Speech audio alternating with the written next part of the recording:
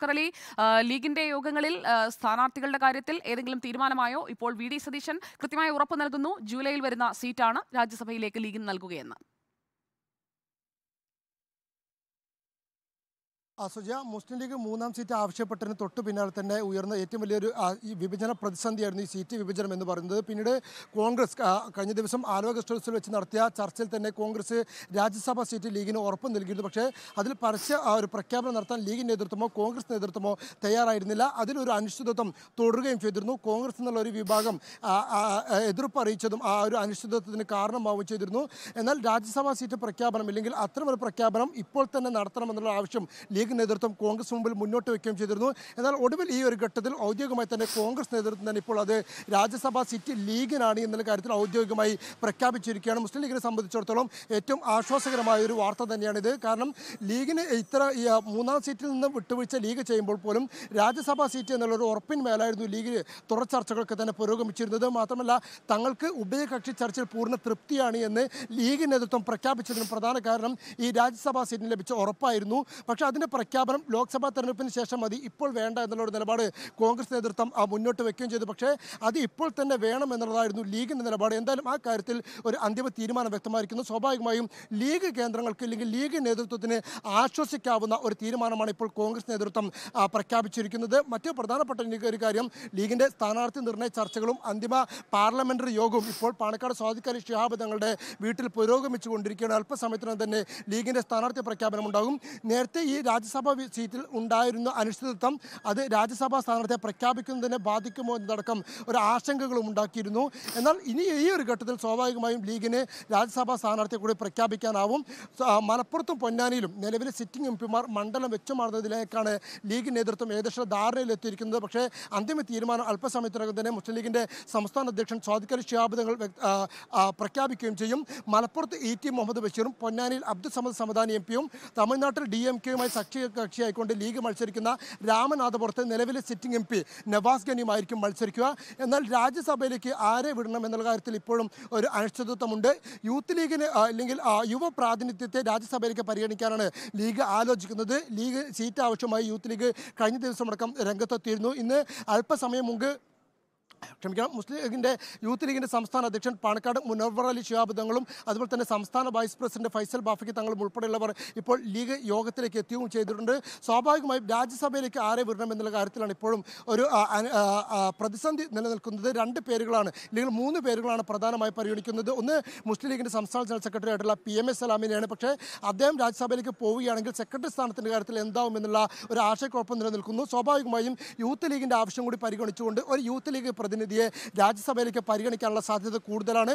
അത് ഒന്ന് P K Firoz youth ലീഗിന്റെ സംസ്ഥാന സെക്രട്ടറി ആയിട്ടുള്ള പി കെ ഫിറോസിനെയും മറ്റൊന്ന് യൂത്ത് ലീഗിന്റെ ദേശീയ സെക്രട്ടറി ആയിട്ടുള്ള അഡ്വക്കേറ്റ് ഫൈസൽ ബാബുവിനെയും. ഈ രണ്ട് പേരുകളുമാണ് ഇപ്പോൾ കഴിഞ്ഞ ദിവസം ചേർന്ന സംസ്ഥാന യൂത്ത് ലീഗ് കമ്മിറ്റിയും ദേശീയ സംസ്ഥാന മുസ്ലിം ലീഗ് കമ്മിറ്റിക്കും മുമ്പാകെ വെച്ചിരിക്കുന്നത്.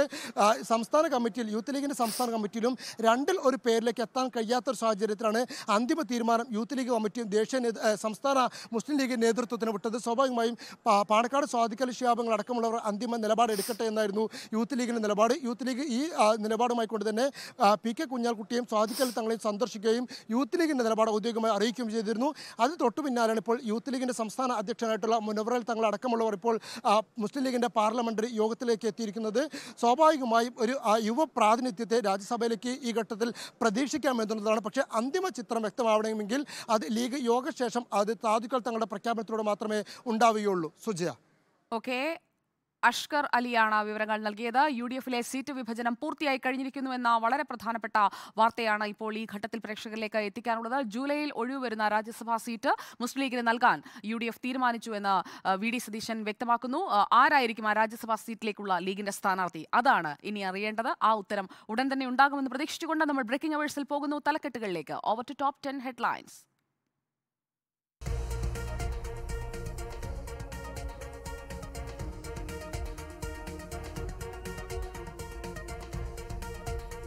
പുതിയൊരു സീറ്റ് അവർക്ക് കൊടുക്കാനുള്ള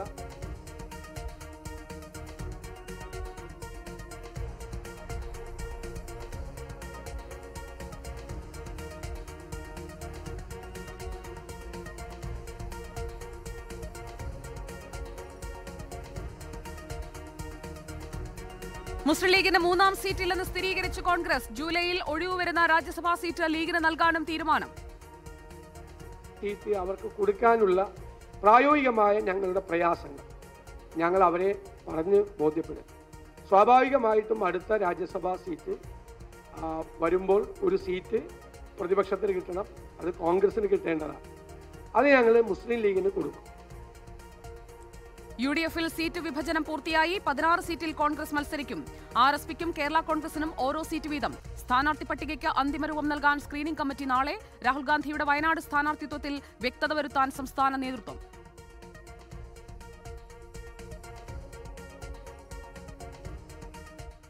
ലീഗിന്റെ നേതൃ നേതൃസമിതി എടുത്തിരിക്കുന്ന തീരുമാനം എന്താണ്? രാജ്യസഭയിലെ ആരാണ് സ്ഥാനാർത്ഥി? അവിടെ തയ്യാറെടുപ്പുകൾ നടക്കുന്നു. നേതാക്കൾ മാധ്യമങ്ങളുടെ മുന്നിലേക്ക് എത്തുകയാണ്. പി കെ കുഞ്ഞാലിക്കുട്ടിയെ ദൃശ്യങ്ങളിൽ കാണാം. നിർണായകമായ യോഗത്തിന് ശേഷം തീരുമാനം എന്താണ് എന്നറിയാനുള്ള ആകാംക്ഷയിലാണ് എല്ലാവരും കാത്തു നിൽക്കുന്നത്. ലീഗിന് മൂന്നാം സീറ്റില്ല എന്ന് വി ഡി സതീശൻ പ്രഖ്യാപിച്ചു കഴിഞ്ഞു. കഴിഞ്ഞ തവണത്തെ അതേ സീറ്റ് എണ്ണം തന്നെയാണ്. എന്നാൽ ജൂലൈയിൽ ഒഴിവ് വരുന്ന രാജ്യസഭാ സീറ്റ് ലീഗിനാണ്. അതിൽ ലീഗ് നിർത്താൻ പോകുന്ന സ്ഥാനാർത്ഥി ആരാണ്? നേരത്തെ പി കെ കുഞ്ഞാലിക്കുട്ടി സൂചിപ്പിച്ചതുപോലെ പി എം എ സലാമാണോ അതോ മറ്റൊരാളാണോ? യൂത്ത് ലീഗിന് രാജ്യസഭാ സീറ്റ് നൽകുന്നുണ്ടോ? പൊന്നാനിയിലും മലപ്പുറത്തും പേരുമാറ്റമുണ്ടോ? കെ എസ് ഹംസ പറയുന്നത് പോലെ കെ എസ് ഹംസയ്ക്ക് കൊടുത്ത ഉറപ്പ് പോലെ സ്ഥാനാർത്ഥി നിർണയം വരുന്നുണ്ടോ? അതിലൊക്കെയാണ് ആകാംക്ഷ നിലനിൽക്കുന്നത്. അല്പസമയത്തിനകം തന്നെ നേതാക്കൾ മാധ്യമങ്ങളെ കാണും എന്നാണ് കരുതുന്നത്.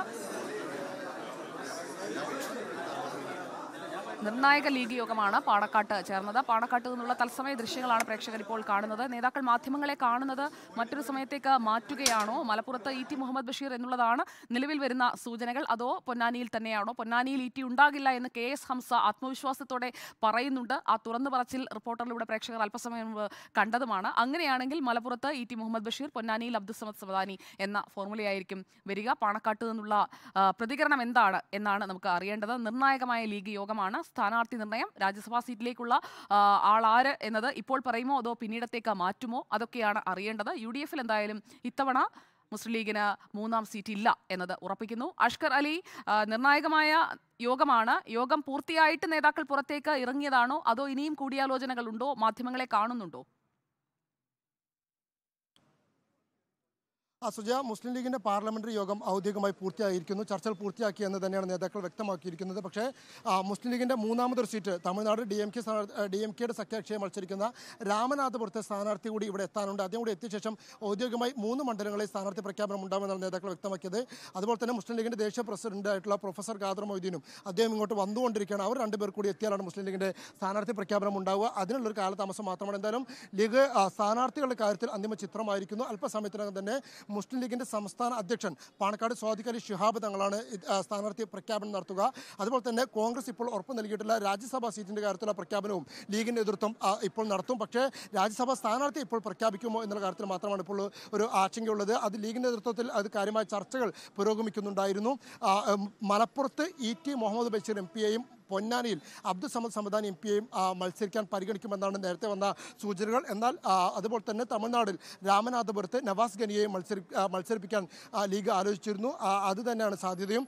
മറ്റൊന്ന് രാജ്യസഭയിലേക്ക് ആര് എന്നുള്ള കാര്യമാണ്. അതിൽ സ്ഥാനാർത്ഥി പ്രഖ്യാപനത്തോടുകൂടി തന്നെ ആയിരിക്കും ചിത്രം വ്യക്തമാകുക പക്ഷേ ഒരു യുവ പ്രാതിനിധ്യം യൂത്ത് ലീഗിന്റെ ഒരു പ്രതിനിധി രാജ്യസഭയിലേക്ക് ഉണ്ടാകുമെന്നാണ് ലഭിക്കുന്ന സൂചനകൾ. അങ്ങനെയെങ്കിൽ പി കെ ഫിറോസോ അഡ്വക്കൽ ഫൈസൽ ബാബു അടക്കമുള്ള ഏതെങ്കിലും ഒരാളായിരിക്കും സ്ഥാനാർത്ഥിയായി രംഗത്തുണ്ടാവുക. യൂത്ത് ലീഗിന്റെ സംസ്ഥാന സെക്രട്ടറിയാണ് പി കെ ഫിറോസ്. അതുപോലെ തന്നെ യൂത്ത് ലീഗിന്റെ ദേശീയ സെക്രട്ടറിയാണ് അഡ്വക്കേറ്റ് ഫൈസൽ ബാബു. രണ്ടിലൊരു പേരുകാരെയാണ് ലീഗ് നേതൃത്വം പരിഗണിക്കുന്നത്. മുസ്ലിം ലീഗിന്റെ സംസ്ഥാന ജനറൽ സെക്രട്ടറി ആയിട്ടുള്ള പി എം എ സലാമിനെയും ആ ലീഗ് നേതൃത്വം രാജ്യസഭയിലേക്ക് പരിഗണിക്കുന്നുണ്ടായിരുന്നു. പക്ഷേ അദ്ദേഹം രാജ്യസഭയിലേക്ക് പോവുകയാണെങ്കിൽ സംസ്ഥാന സെക്രട്ടറി എന്നുള്ള വിഷയത്തിൽ ഒരു അനിശ്ചിതത്വമുണ്ട്. അത് ആരാകും ഇല്ലെങ്കിൽ അതിൽ അതിൽ തുടർന്നുകൊണ്ട് രാജ്യസഭയിലേക്ക് പോകണോ എന്നുള്ളതിലൊക്കെ തന്നെ ഒരു ഭിന്നാഭിപ്രായങ്ങളും ഉണ്ടായിരുന്നു.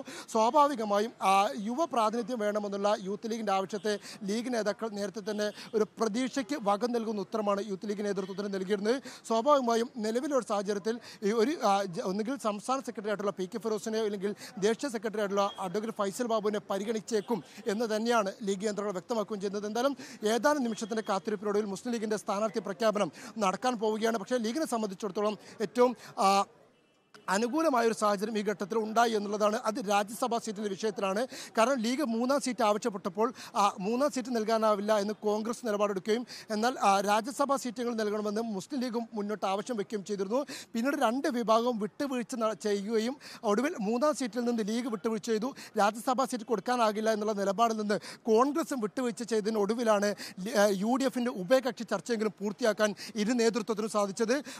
രാജ്യസഭാ സീറ്റിന്റെ കാര്യത്തിൽ അതിൽ ചർച്ചകളിൽ തീരുമാനമെത്തിയിരുന്നെങ്കിൽ പോലും ഇന്നലെ രാത്രി വരെ അതിലും ഒരു അനിശ്ചിതത്വം ഉണ്ടായിരുന്നു. കോൺഗ്രസ് എന്നുള്ള ഒരു വിഭാഗത്തിന്റെ എതിർപ്പും സ്വാഭാവികമായും പ്രഖ്യാപനം ഇപ്പോൾ വേണ്ട അത് പിന്നീട് നടത്തിയാൽ മതി എന്നുള്ള കോൺഗ്രസ് നേതൃത്വത്തിന്റെ നിലപാടുമായിരുന്നു ഇത്തരത്തിലൊരു ആശങ്കയ്ക്ക് വഴിയൊരുക്കിയത് പക്ഷേ അവസാനം ഇന്ന് മുസ്ലിം ലീഗിന്റെ സ്ഥാനാർത്ഥി പ്രഖ്യാപനം നടക്കാൻ പോകുന്നതിന്റെ ഏതാനും നിമിഷങ്ങൾക്ക് മുമ്പ് പ്രതിപക്ഷ നേതാവ് വി ഡി സതീശൻ എത്തി തന്നെ മുസ്ലിം ലീഗിന് രണ്ട് രാജ്യസഭാ സീറ്റ് എന്നുള്ള കാര്യം പ്രഖ്യാപിച്ചിരിക്കുന്നു. അത് ലീഗ് കേന്ദ്രത്തെ സംബന്ധിച്ച് വലിയ ആശ്വാസമുള്ള കാര്യമാണ്.